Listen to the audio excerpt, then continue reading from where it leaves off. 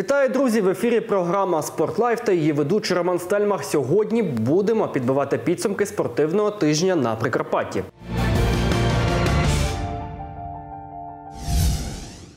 Івано-Франківське Прикарпаття зазнало вже другої поспіль поразки у першій лізі. Цього разу підопічним Володимира Ковалюка дісталося від Краматорського авангарду. Господарі поля забили Прикарпаттю два сухі м'ячі і обидва з пенальті. Івано-франківці ж нічим відповісти не змогли. Ще й догравали матч у меншості.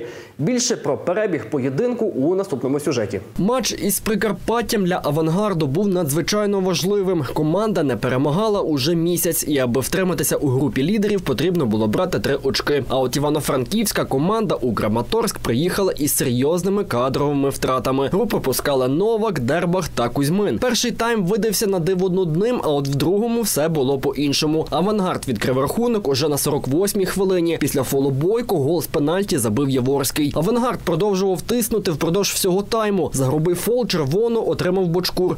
Прикарпаття залишилося у меншості. А за хвилину до фінального свистка ще одне пенальті реалізував Лобов 2-0.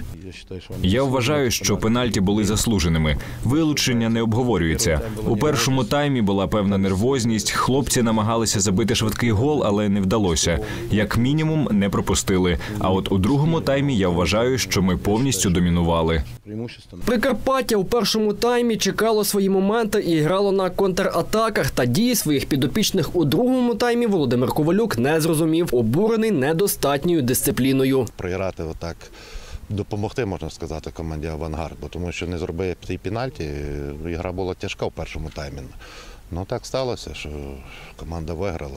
Обідно, що футболісти не думають на футбольному полі. Саме основне, я й попереджував, що перший тайм, що другий тайм, початок ігри, щоб зіграти дуже кваліфіковано, дуже відповідально. А бачите, зразу на третій хвилині другого тайму пенальті. Наступний матч Прикарпаття зіграє вдома проти Луцької Волині, одного з лідерів.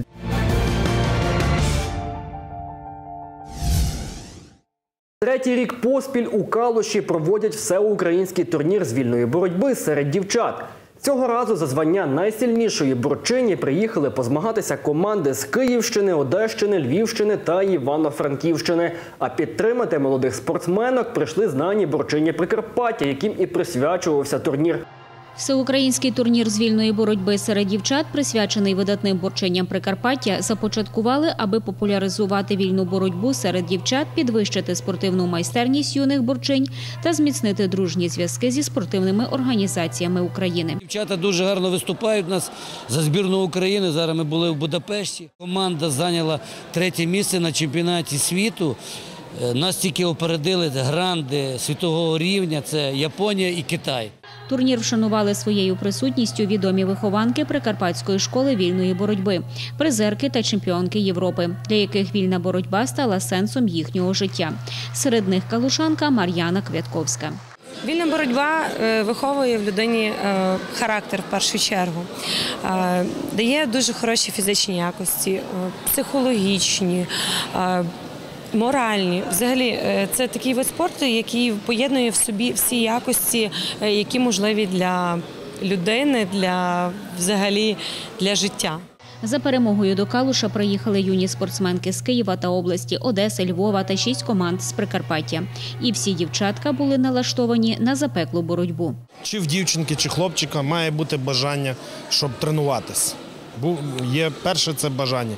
Друге це працелюбність. Тут треба працювати до сьомого поту. Це треба першим в зал приходити і останнім з залу йти. Тоді буде якийсь результат. Загалом дівчатка, зокрема чемпіонка всесвітніх ігор серед школярів Combat Games Аміна Мухамед та срібні призерки Ірина Заблоцька та Сніжана Онуфрієва продемонстрували цікаві та комбінаційні двобої, які притаманні борцям високого класу. З дитинства якісь такі хлопчачі ігри інтересували, футбол, всяке таке. Я не поболіти. Для перемоги потрібно вперто тренуватися, ніколи не здаватися, поставити цілі, йти до неї. За результатами двобоїв усі переможці та призери турніру були нагороджені грамотами та медалями.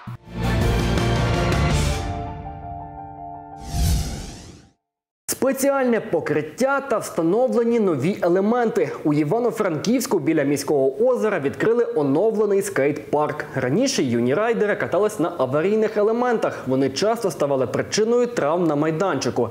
Відтепер спортсмени мають змогу удосконалювати свої вміння на нових конструкціях. Олександр катається на самокаті вже близько двох років. Весь цей час свої навики вдосконалював у скейт-парку на міському озері. Доводилось кататись на аварійних елементах, адже альтернативи не було. Доволі краще стало все. От ми стоїмо на цій фігурі, і ця фігура не пристосована для такого. Сергій Пастернак в Івано-Франківську займається розвитком екстрим спорту. Це скейтбординг, роликовий спорт, BMX, культура та самокати. Сам Сергій катається на роликах. Я безпосередньо катаюсь на роликах. Е, Я, в принципі, все життя катаюсь на роликах.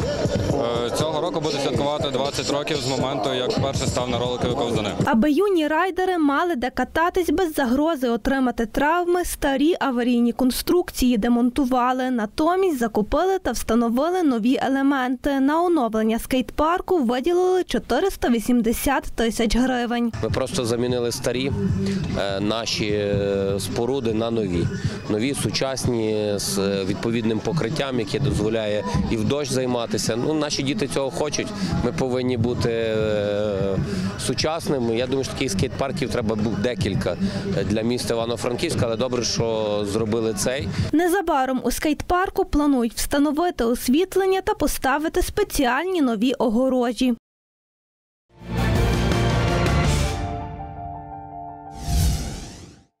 Поїхав на роботу, а став одним із кращих бійців. Кікбоксер Іван Бока після 10 років в Італії повернувся до України, аби поділитися досвідом з івано-франківськими спортсменами та розповісти про секрети європейської техніки бою. Тепер планує частіше приїжджати на батьківщину. Про тренування під керівництвом найкращого кікбоксера Європи, здобутки та враження від українських бійців Іван Бока розповів в наступному сюжеті. Іван Бока родом з Буковини. Спорт любив з дитинства та можливості займатися на батьківщині не було. Десять років тому він поїхав на роботу до Італії та неочікувано для самого себе розкрився як успішний кікбоксер. А почалося все із любительського спортивного клубу. Далі знайомство із кумиром та наставником. Тренувався з Петро з Джорджем Петросяном в Мілані, тому що він має там е, спортивний клуб у центрі. Джорджо Петросян це він е, ну, родився в Арменії, зараз живе в Італії. Він е, номер один по К1. Друзів в Україні у Івана не лишилося. Та приїжджає він сюди залюбки. Каже, любить батьківщину. Техніку підопічних у Івано-Франківську оцінює високо. Втім, дечого їй таки бракує, вважає боєць. Вчимо то, що ми вчили то, що я вчив в Італії, то, що по-європейськи. І тут я їм даю ну, можливість, щоб вони вчили техніку і як правильно рухатися на рінзі. Вони більшість е, працюють е, руками, а ми більшість там в Італії працювали е, ну, ногами, тому що це К1, а не, не, не бокс. Робота над вивченням нової техніки кипіла три дні. Тренувалися як діти, так і дорослі.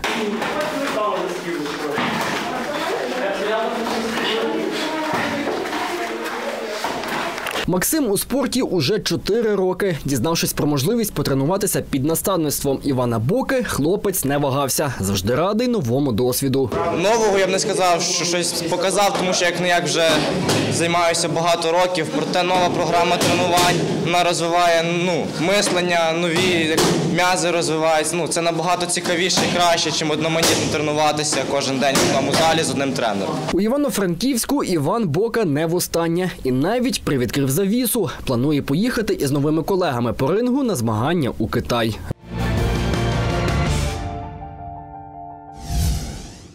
Молодь проти наркотиків. Школярі на Коломийщині змагалися у п'яти видах спорту, аби привернути увагу до проблеми наркозалежності. Спартакіаду провели у Товмачицькій школі. Сюди з'їхалися учні шкіл з усіх куточків громади.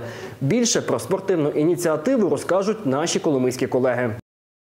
Андрій, капітан команди господарів, каже, що фізкультура його улюблений предмет. Він активно займається спортом, тому і свою команду налаштовує лише на перемогу у спартакіаді. В першу чергу це саморозвиток, ну, настрій. Мені весело, коли збираються школи, що ми проводимо ці заняття, що, що піднімається дух школи, що всі раді. Організовують спортивний захід служба у справах дітей міської ради, дитячо-юнацька спортивна школа та відділ ювенальної превенції Коломийської поліції. Керівник комісії зазначив, що такі заходи зближують дітей та відволікають їх від вулиці. Це дає таку практичну користь, що діти більш здружуються, стараються разом досягати певного результату у спорті. І це краще товаришування, дружба, а потім проявляється в подальшому їхньому навчанні. Старший інспектор ювенальної превенції поліції каже, що кримінальна ситуація серед молоді в наш час дуже складна. Тому саме спорт та зустрічі із представниками поліції мають допомогти підліткам. Такі заходи необхідно проводити і, можливо, більш е, частіше, тому що у нас на сьогоднішній день, на жаль, є сумна статистика, сумна картина про те, що, на жаль, таке негативне явище, як наркоманія, воно є присутнє в нашому дитячому середовищі. Чи не найзапеклішими були естафети? У кожній із них команди намагалися показати найкращі результати, а ще змагалися за призи команди у волейболі. Такі ж змагання зовсім скоро відбудуться ще й і в Коломиї.